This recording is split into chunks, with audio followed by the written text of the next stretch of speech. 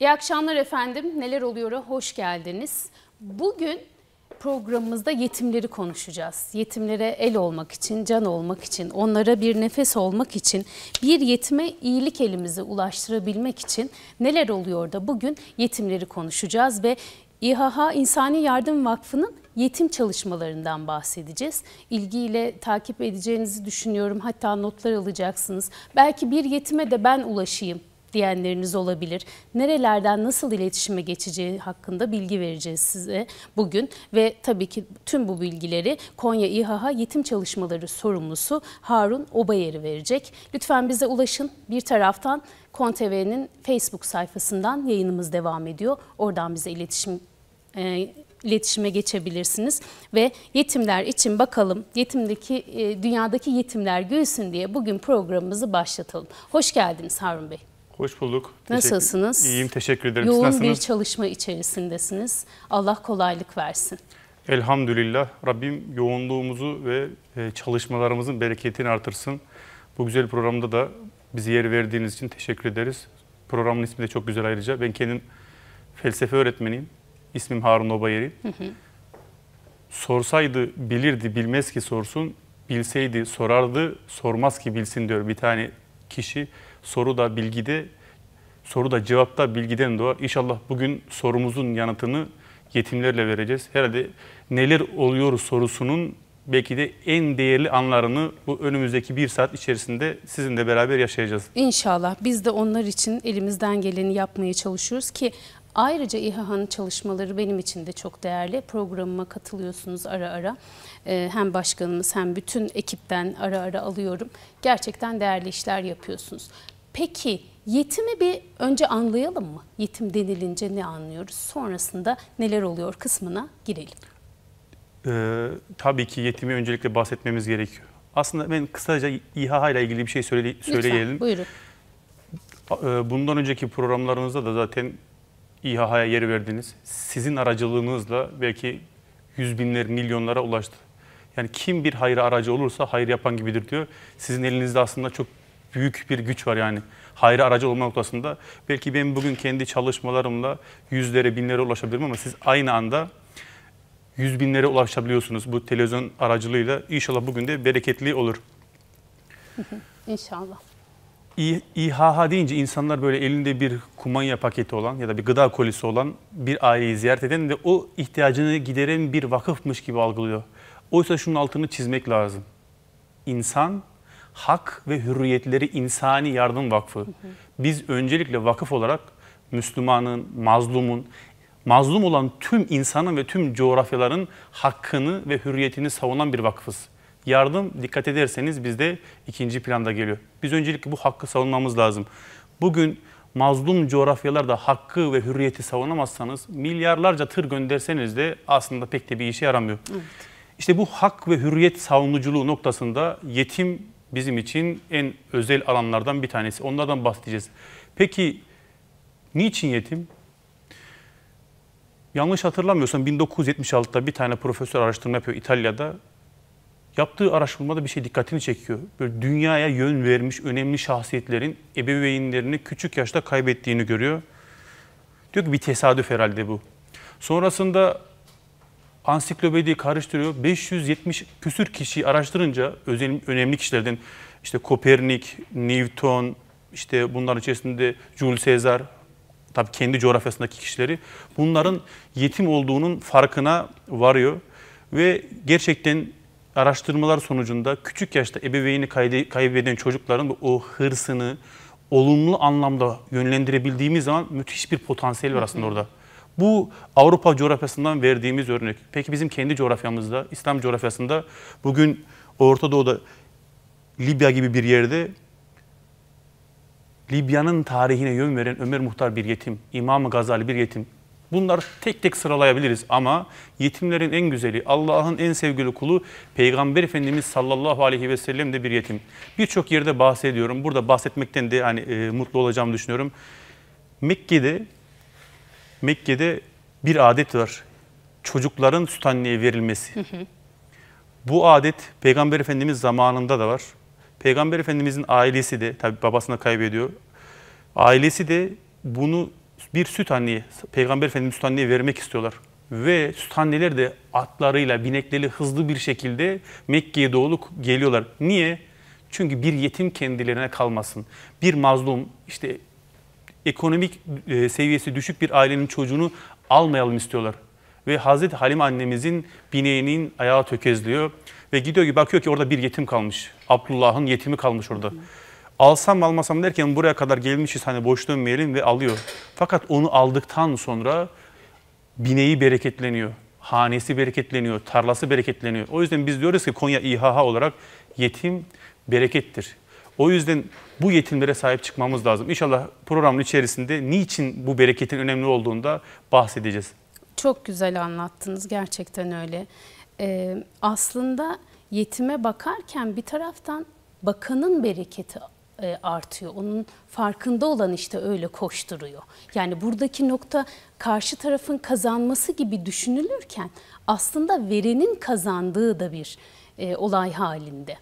Şunu söyleyebilirim. Bugün bir okyanus kenarında hani biz okyanusa çok uzak olduğumuz için böyle bir yer söylüyorum. Ya da uzak bir ülkede deseler ki bana yetimlerle piknik yapacaksın, bir organizasyon yapın. Bakın zerre tereddüt etmem bu işin içerisine girerim.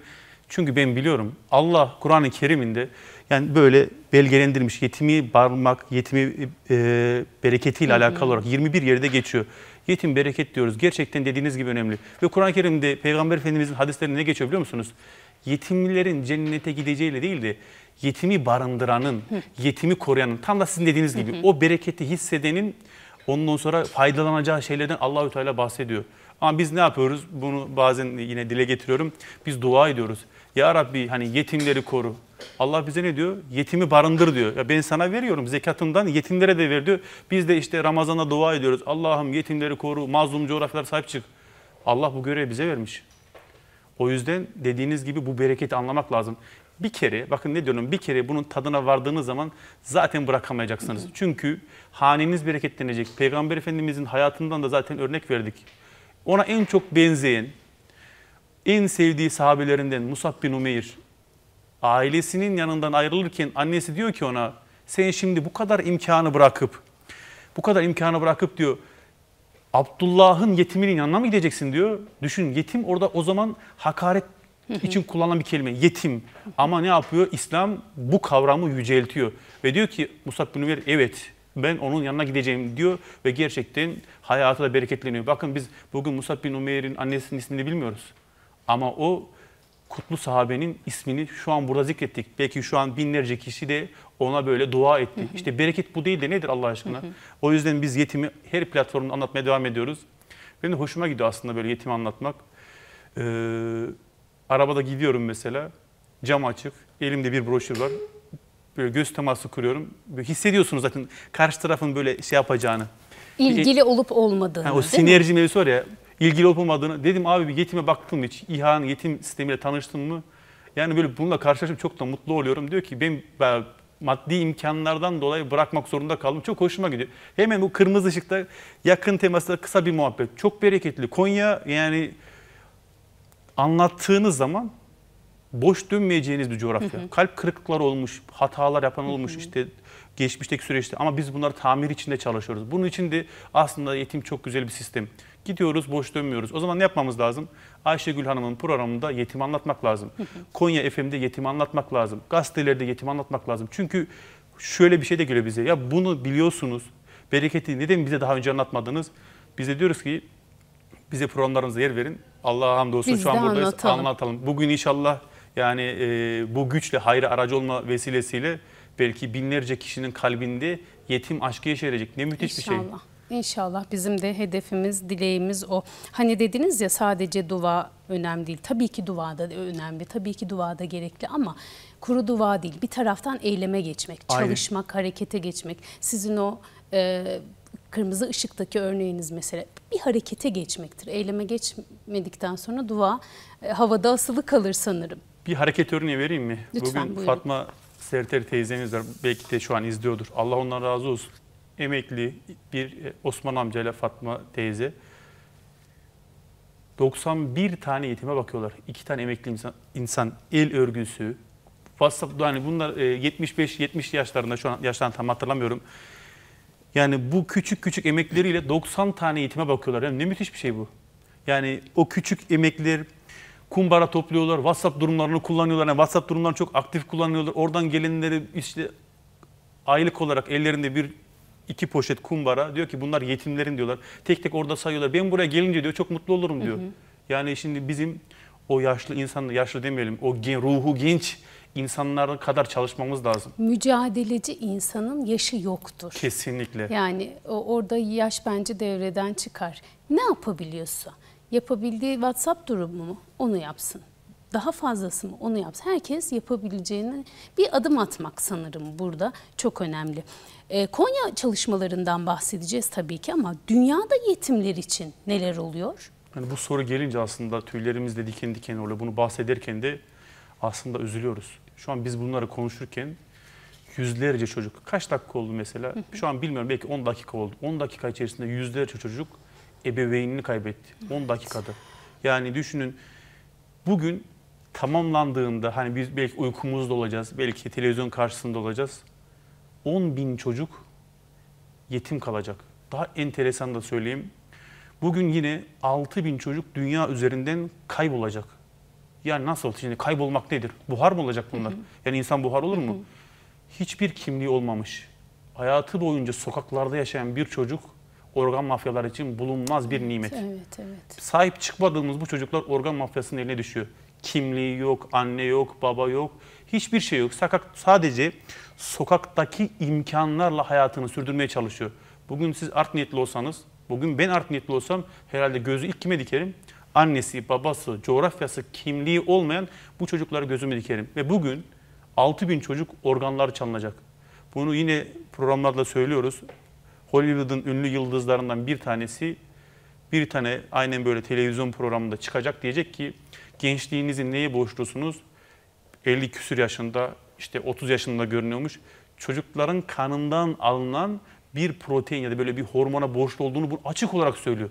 Twitter'da da hatta Evet, gündem evet, oldu evet, değil mi maalesef. hatırlıyorsanız. Yani bunu açıktan söylüyor. Akıl İnsan- alır gibi değil. şunu bu peki bu çocuklar kim? Kim biliyor musunuz? Bunlar İslam coğrafyasındaki çocuklar. Bugün UNICEF'in rakamlarına göre 150 milyona yakın yetim çocuk var. Bakın dikkat edin 150 milyon diye tam bir rakam söyleyemiyorum. Bunu Birleşmiş Milletler Teşkilatı da tam bir rakam söylemiyor. Neden? Çünkü Arakan gibi, Doğu Türkistan gibi tespit edilemeyen yerler var. Sivil toplum kuruluşlarının tespit ettiğine göre 400 milyon, 400 bin demiyorum dikkat edin, 400 milyon yetim çocuk var. Ülkemizin kaç katı biliyor musunuz? 5 katı. 5 katı büyüklüğünde yetim çocuk var ve organ mafyası. Bugün Afrika'da savaştırılan çocukların %40'ı kız çocuğu. Bir düşünsün birçoğumuzun kız çocuğu vardı. Benim de kız çocuğum var. Boyundan daha büyük silahla savaştırılan kız çocukları. Hani insan hakları, kadın hakları, kız çocukları diyoruz ya. İşte bizim sadece kendi etrafımıza değil, ümmet coğrafyası, mazlum tüm coğrafyalara sahip çıkmamız lazım. Bunu bu yüzden önemsiyoruz. Tüm bu rakamları ve Harun Bey'in anlattıklarını dinlerken izleyicilerimiz için söylüyorum. Lütfen empati kurarak dinleyin. Çünkü empati kurmadığınız zaman sayılar, işte rakamlar havada kalır. Her şey, bütün duygu havada kalır. Ama hepimizin evladı var, oğlumuz, kızımız var.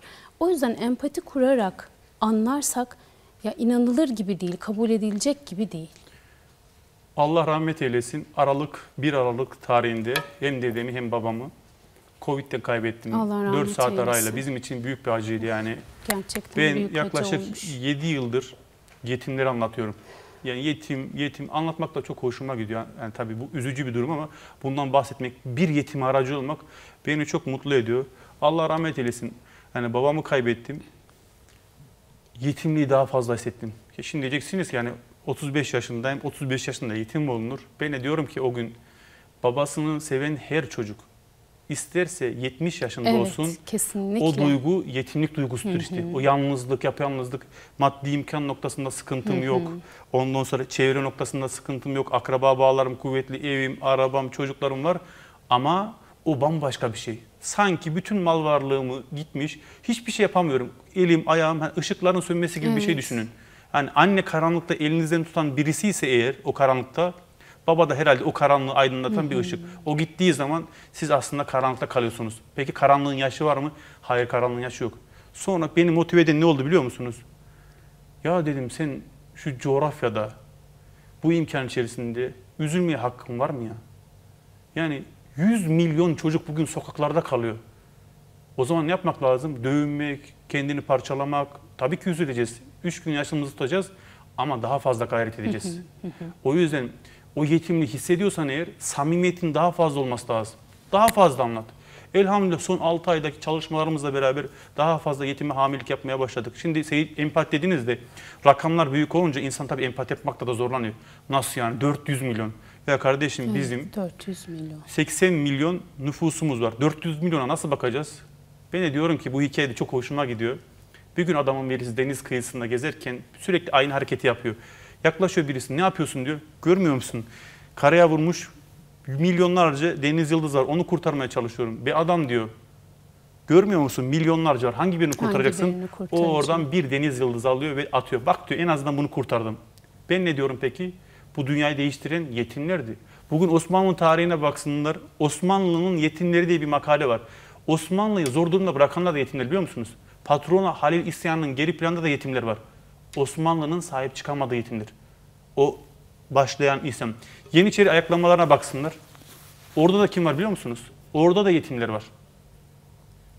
Bu yani ne diyelim babanı ya da ebeveyni kaybettikten sonraki o duygu müthiş bir böyle bir hırs, bir yalnızlık oluşturuyor. İşte onu kullanmak lazım. Orada bir nükleer enerji var. O nükleer enerjiyi kontrol edip güzel kullanmak lazım. Kullanamazsan ne olur? Senin çok iyi yetiştirdiğin evladınla aynı otobüse binir.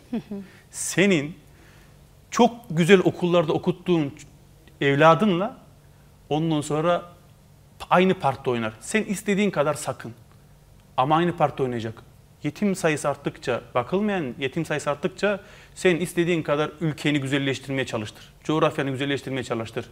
O yetimler Osmanlı olduğu gibi zor durumda bakacak. O yüzden ne yapmak lazım? Kendi çocuğunun geleceği için yetim çocukların geleceğini de düşünmen lazım.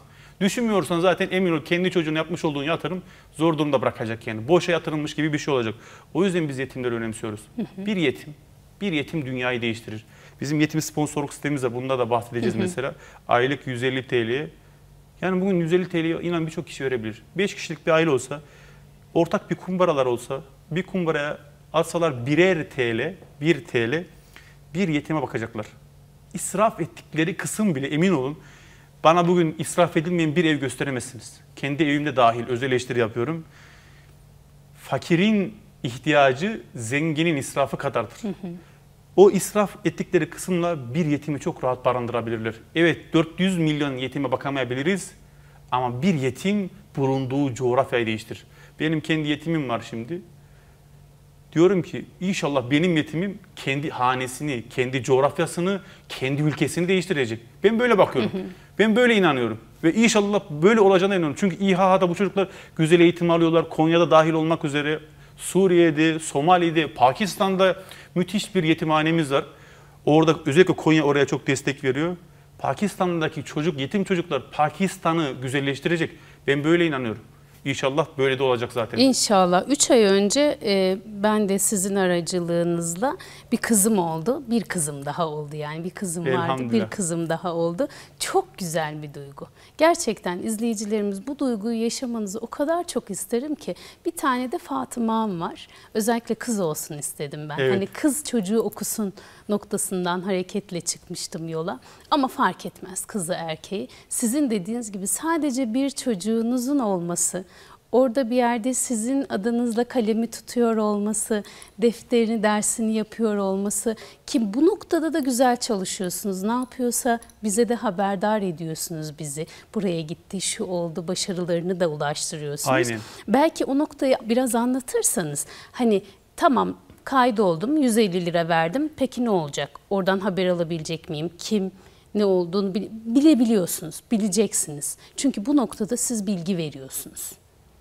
Bizde bağış yapanın yapmış olduğu bağış ve bağış ulaşılan yer kayıt altında olmalıdır. Zaten bütün vakıflarda böyledir. Biz bir, de- bir, bir tık daha titiziz bu noktada. Evet. Hasan Hüseyin abimizin de öncülüğünde. Yani 10 kuruş bir kişi Ayşegül Hanım 10 kuruş veriyorsa bunu kayıt altına alırız. Benim mesela kendi akrabalarım var. Beni yolda durduruyorlar. Diyorlar ki hani şunu vakfa ulaştır. Ben almıyorum. Bakın kendi akrabalarımdan biliyor. Şaşırıyorlar. Ya ben şurada ölsem, unutsam, sen bana zekatını verdin 1 lirası Benim olsa. cebimde gidecek. Benim cebimde girdi. Ben şimdi ne yapıyorum? Güzel bir örnek var. Hemen küçük bir kağıda cebimi onunla beraber koyuyorum. Ya da defterim var mesela. Defterime Bir not şey alıyorum. olursa oradan bulunsun diye değil mi? Aynen öyle. Biz bundan not alıyoruz. Aynı zamanda somutlaştırmak lazım. Bugün en büyük problemlerimizden bir tanesi bu. Ne yapıyoruz mesela? İşte Ayşegül Hanım Fatıma isimli yetimin fotoğrafını, ayakkabı numarasını. Ben size, bakın ben size şu an program bittikten sonra hocam bana yetimin yetimimin ayakkabı numarasını söyler misiniz deseniz yaklaşık 10 dakika içerisinde yetiminizin ayakkabı numarasını söyleyebilirim. Ne yaptığını da söyleyebilirim. Sistemlerimizde kayıt alarak söylüyorum. Biz sadece hani İslam coğrafyası değil aslında yetim çalışmamızı kendi şehrimizden başlatıyoruz. Çünkü şöyle bir pergel gibi düşünün. Kendi coğrafyasına sahip çıkamayan başka coğrafyalara da sahip, Sahip çıkamaz. çıkamaz. Tabii. Bu pergelin o sabit ayağı sağlam basmalı ki o haritayı çizen kısım daha geniş bir coğrafyaya açılsın. Biz Konya sokaklarındaki yetimleri tespit etmek istiyoruz. Mesela ya- haftaya o çocuklarla sünnet programımız var. Aile ziyaretlerimiz var. Ramazan'da onları ziyaret ediyoruz. Gönüllü hanım kardeşlerimiz var. Konya'da, ilçelerimizde. Böyle onun dertleriyle dertlenen, üzüntüleriyle üzüntülenen, bazı, bazılar çok dertleniyor. Bakın diyorum bunlar hayatın içerisinde olan şeyler. Hani çok da kendinizi böyle kaptırmayın. Çünkü Allah hani herkesin sınavını farklı etmiş. Ama o dertleme noktasında çok samimiler. Eğitim programlarımız var. Anne eğitim programlarımız var. Hani dedim ya insan hak ve hürriyetleri insani yardım. Yetime götürüyoruz ayakkabı giydirir. Hayır. Bitmiyor. Kesinlikle eğitim programları, ahlak programları, onlarla birlikte kültürel faaliyetlerin yapılması. Bazen derdini dinlemek için sadece sohbet bile hocam. Yani bazen eğitim istemeden neye üzülüyorsun, ne hissediyorsun? Bu bizim için de geçerli. Hani insanlar artık maalesef şu çağda hep bir şey alıp verme üzerine ilişkiler var. Ama ne hissediyorsun? Bir şeyin mi var sorusu bence sihirli bir soru. Geçen hafta sanırım bir tane yetim ailemizi vakfımıza aradık. Böyle konuşuyorduk. Sıkıntıları vardı. Çok iyi de birisi. Allah ondan razı olsun. Çocuklarını yetiştirmeye Amin. çalışıyor. Çok aynı dediğiniz gibi geldi böyle. Ben de vardım toplantıda. Bahsetmiş olduğu sıkıntılar aslında bizim de olan sıkıntılarımız. Fakat o şöyle anlıyor. Yani ben yetimim ya. Ben e, zorlanıyorum. Bütün sıkıntılar beni buluyor. Dedim ki Zeynep teyze ben babamı ve dedemi 4 saat arayla kaybettim. Benim evladımla ilgili şu tarz bir problemim var. Sonra abla başladı. Komisyondaki abla, gönül ablamız dedi ki Zeynep teyze benim de şöyle problemlerim var. Ben de babamı kaybettim şu oldu. Sonra üçüncü kişi, dördüncü kişi Zeynep abla dedi ki Allah Allah dedi ya. E sizde de var bu problemler. E tabii ki bizde de var. Tabii Çünkü biz ki. de aynı şeyleri yaşıyoruz. Yani senin bir farkımız yok. Aynı sıkıntıları biz de çekiyoruz diye. Dünkü toplantımız vardı. Merkez Hanım Komisyonumuzda, Selçuklu'da, Meram'da, Karatay'da üçer dörder kişilik gönüllü komisyonlarımız var. Bizde erkek evi ziyaret etmiyor çünkü yetim ailesi olduğu için zor durumda olabilir, de, olumsuz bir şey olabilir diye onu da mağdur etmemek için. Orada konuştuk. Ailelerimizden gelen talebi söylüyorum yetim ailelerimizden. 150'ye yakın ailemiz var. Ya bu hani pandemi kalktı ya artık bir araya bir gelsek, bir şeyler yapsak, bir şeyler örsek, bizi evden bir çıkarın. Çünkü bu etkinlikler yapılıyordu ama pandemiden dolayı yapamıyorduk. İnşallah bu etkilerin azalmasıyla biz şimdi ailelerimizi vakfımıza davet edeceğiz. Onlarla piknik organizasyonlarımız. Yani onların da bir normal bir aile olduğunu. Belki küçük biraz daha farklı sıkıntılar olabilir ama onlar da biz de aynı sıkıntılar yaşadığımızı sizin dediğiniz gibi ne yapıyorsun, ne ediyorsun diye onlara soracağız. İnşallah onlar da bu noktada mutlaka ama mutlaka eee, rahatlayacaklardır. Her çocuk eğitilebilir ve her çocuğun eğitime, yaşamaya, güzel bir eğitim almaya hakkı vardır.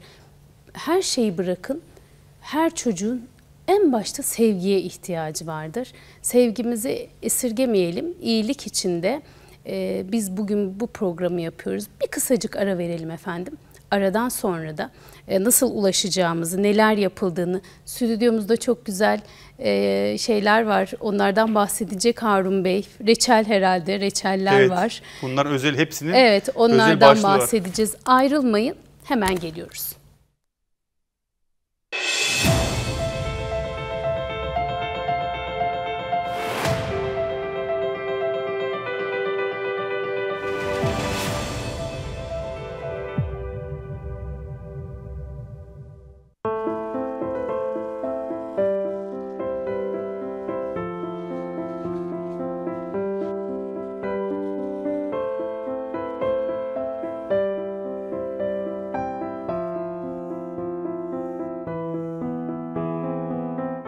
Eksik parçayı beraber tamamlayalım.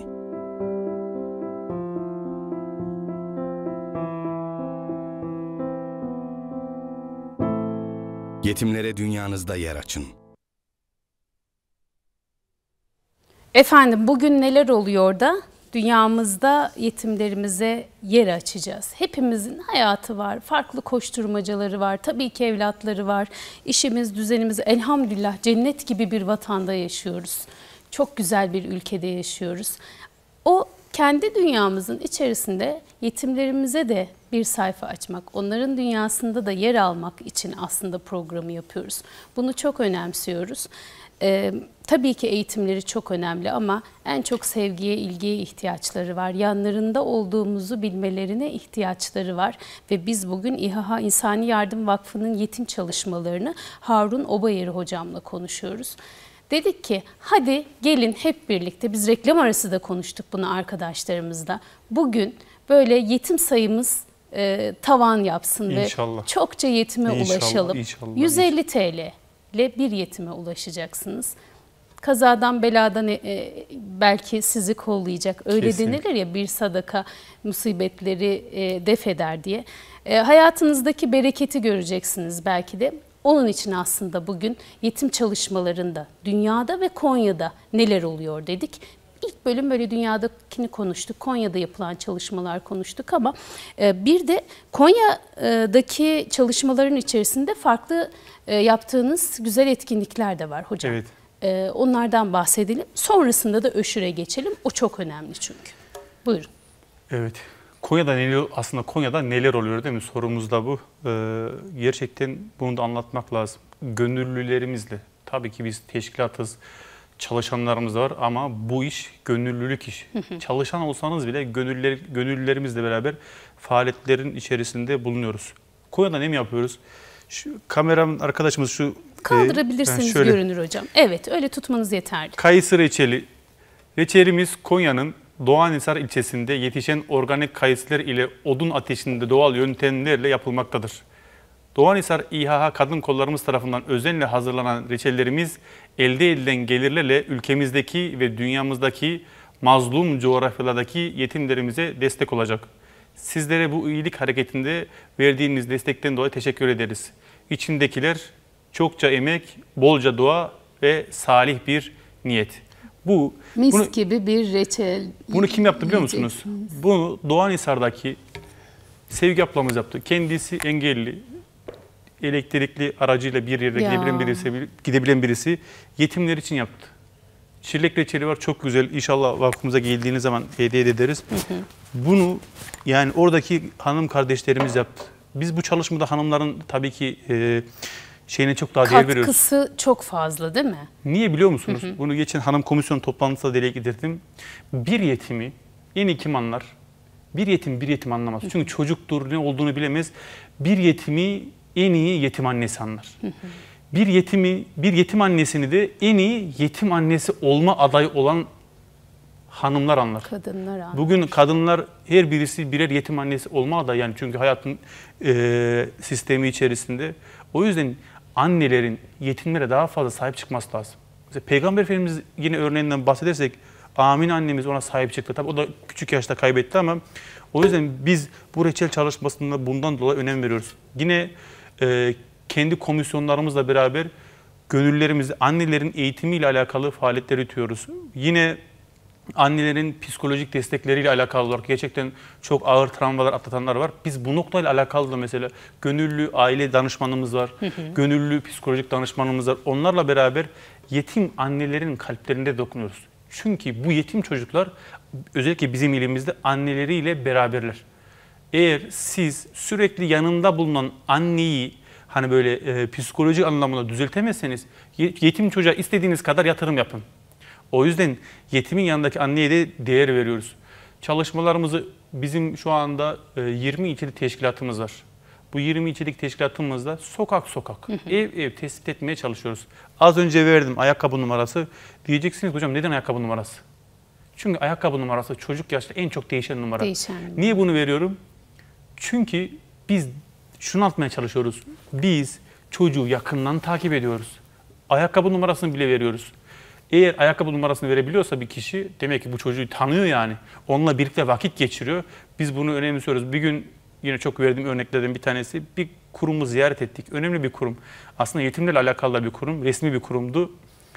Dedi ki e, işte yetimlerle ilgili bahsettik. Bazen eleştiri geliyor. Bu da eleştirel e, kişilerden bir tanesiydi. Siz dedi sürekli yurt dışına yardım yapıyorsunuz. Yetim diyorsunuz ama işte fotoğraflarınızda sürekli Afrikalı çocuk var. Dedim ki o zaman bir ilçedeydim. Ahmet abi hangi mahallede oturuyorsun? Dedi ki şu mahalle. Dedi ki ben kendi yetime bakıyorum o mahallede dedi. Deyince hemen çünkü biliyorum o ilçeyi de o mahalleyi de biliyorum. Ya abi hangi mahalle? Şu mahalle. Sokak dedi. Şu deyince ben çocuğu bildim. Allah o noktada bize böyle bir bereket gösterdi, yardım etti. O çocuklara bir dosya hazırlamıştım. Dedim çocukların ismini biliyor musun Ahmet abi? Dedi ki bilmiyorum. Dedim ben sana çocukların ismini söyleyeyim. Al dosyası A- hatta. Aynen. Çocukların ismi şu, ablası bu, annesi bu, babasının vefat etme nedeni de bu. Ayakkabı numaraları bu deyince Ahmet abi şaşırdı. Ahmet abi temsil olarak söylüyorum. Ahmet abi şaşırdı. Bir şey diyemedi. Ya biz kendi yetimini himaye eden ve bir başkasının yetimini himaye eden cennette şu iki elimin parmağı gibi olacak diyen Peygamber Efendimizin hadisini vizyon edilmiş bir teşkilatız. Bizim vizyonumuz, misyonumuz bu.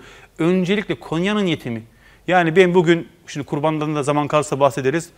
Hani vakfımız şöyle bir çalışması var. Biz birinci kurbana talip değiliz. Kurban ibadeti ailecek yapılan bir ibadet. Siz çocuklarınızla beraber akrabalarını ziyaret edeceksiniz. İhtiyaç sahiplerini bulacaksınız. Hiçbir vakıfı, derneği, camiyi, teşkilatı, hiçbir şey aracı koşmayacaksınız. Önce kendini arayacaksın. Bir kolaylık olsun diye ben kurbanımı gideyim bir işte İHA'ya vereyim. Hayır. Önce sen bir kendini ara. Mahallenin apartmana sordu mu birileri var mı diye.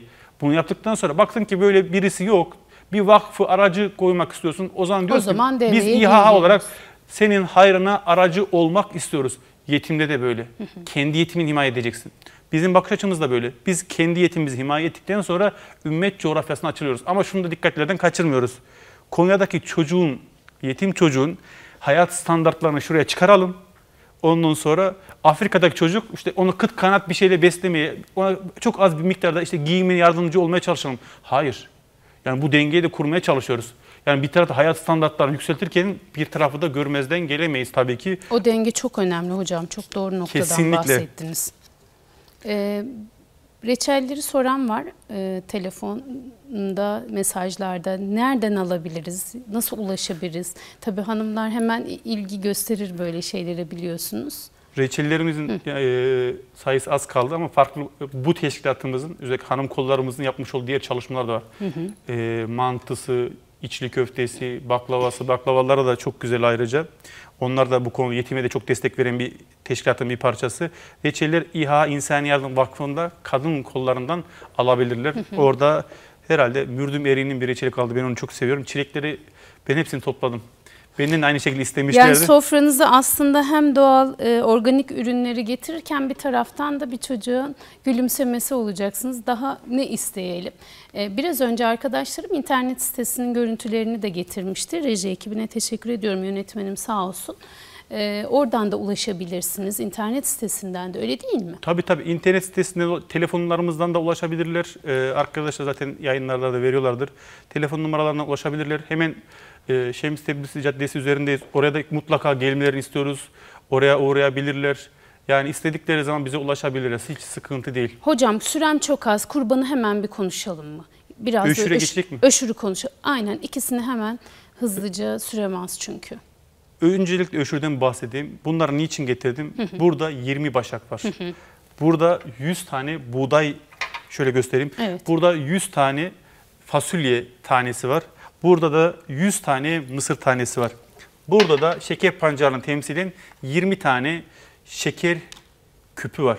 Niye getirdim bunları? Bugün yine bizim coğrafyamızda tarımın eee, çok iyi olduğu bir yer.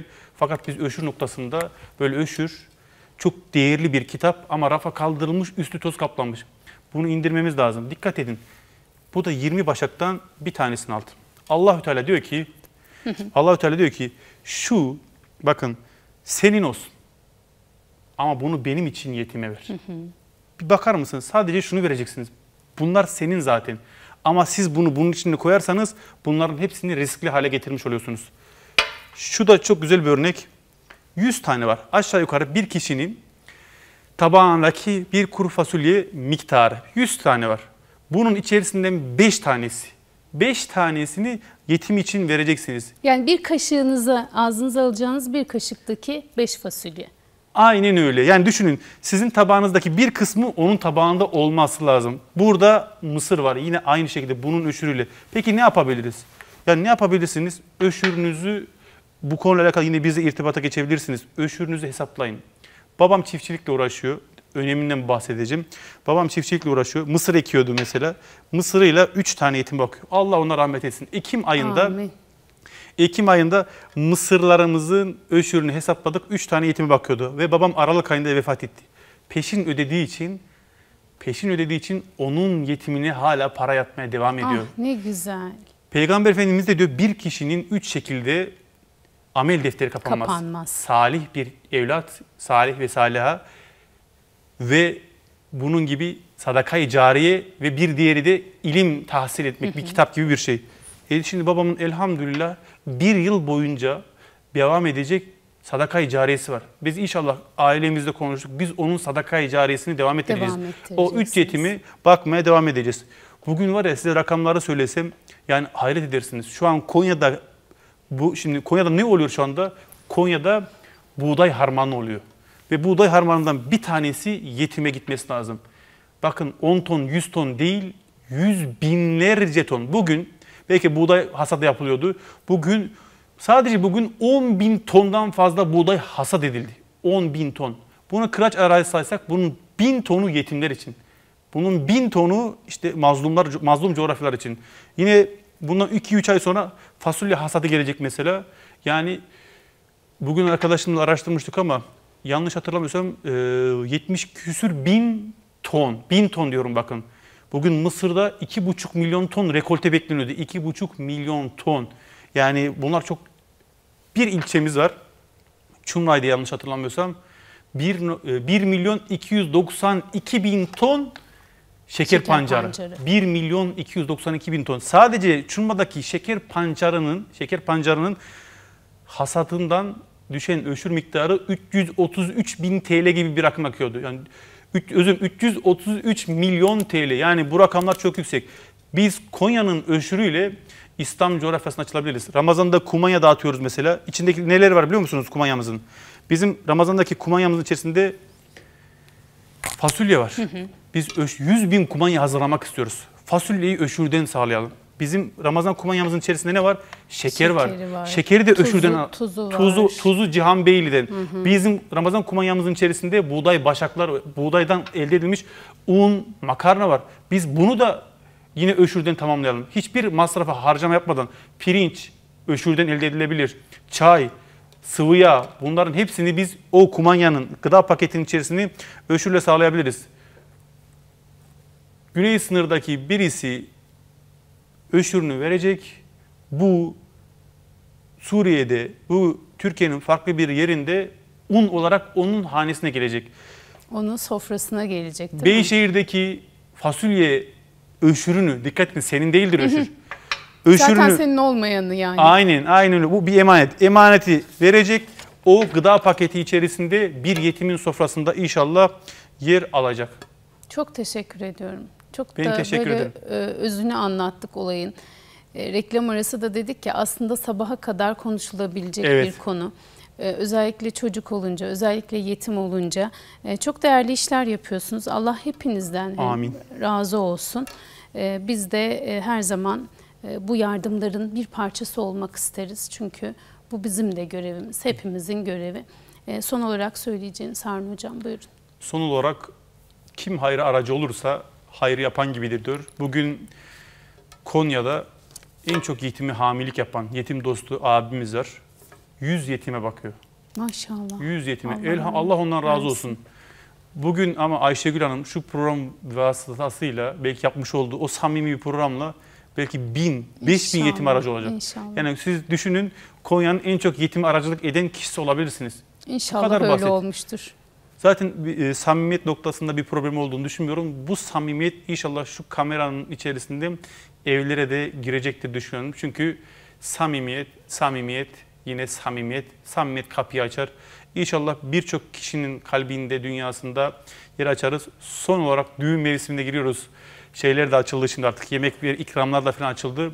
Aileler çok tedirgindi. İşte önceden şu kadar kişiye yemek veriyordum ama artık yemek veremiyorum. Üzülmeyin. Bir yetimhanede verin yemeğinizi. Yine geçen baktığım bir istat- istatistik. Bugün Konya'da ortalama bir düğünün maliyeti 100 bin TL. 100 bin TL harcayan bir aile en çok neye ihtiyaç duyar biliyor musunuz? Paraya değil, bereketi. Evet. Çünkü artık evini tamamlamış, harcayacak bir yer kalmamış ama bundan sonra gıdada diğer ihtiyaçlarını karşılaması için elinde cüz'i bir miktar kalmış, geçimini sağlayacak. O zaman sevgili kardeşim bir yetime hami ol. Yaşlı teyzeler, amcalar ne der mesela? Evladım ne zaman çocuk yapacaksınız? Biz bir torun sevgisi istiyoruz, torun sevmek istiyoruz diye. Evet. Vallahi buradan yaşlı teyzelere sesleniyorum. Çocuklarınızdan bir yetim evlatlarını da almasını istesinler. Desinler ki onu özellikle hanım kardeşlerimiz bu, bu sorudan çok mağdur olurlar. Çok da şey yaparlar böyle moralleri bozulur. Onların kendilerine göre planları vardır. Hanım kardeşlerimize de sesle- sesleniyorum. Size bir çıkış noktası. Bu soruyu sorana bizim ona verdiğimiz bir sponsorluk formuyla benim zaten evladım var. Al bunu Evladım sev deyin. var. Hatta seni de sevmek istiyorsan bir de bir tane de sen bak deyin. Onlar için de bir çıkış kapısı olabilir diye düşünüyoruz. İnşallah bu düğün mevsiminde de 100 bin TL'nin içerisinde yıllık 1800 liralık bir yetim bedeli çok zor değil. Bugün 4000 kişiye yemek veriyorsanız 4000 kişilik yemek milyarlarca TL yapıyor, binlerce TL yapıyor diyelim. Yani 1800 TL ile o yemeği bereketlendirebilirsiniz. Bizim bugün en çok ihtiyacımız olan şey bereket, bereket, bereket. Bereket de nerede? Bereket de bir yetimin duasında. Bu programda da bize yer verdiğiniz için ayrıyetten çok çok teşekkür ederim. Rabbim her bir kelimemizi samimiyetle karşı tarafın kalbine böyle nakşetsin inşallah. Amin hocam. O kadar güzel anlattınız ki sağ olun. Ekranda da geçiyor internet sitesinden ulaşabilirsiniz. İşte oradaki o güzel gülen çocukların her çocuğun gülüşü güzeldir. Ee, bir tane yetim evladınız olsun 150 lira efendim. Nerelere vermiyoruz ki şöyle düşünüldüğü zaman 150 lira bir yetime iyilik için yetim sponsoru olabilirsiniz. Yetim sponsoru deyince böyle çok şey kalmıyor, duygulu olmuyor ama bir evlat alın. Bence böyle daha güzel. Bir evladınız olsun demek daha güzel olacaktır. Ee, biz de elimizden geleni yapalım. Biz veriyoruz ama asıl kazanan biziz. Mutlu akşamlar diliyorum.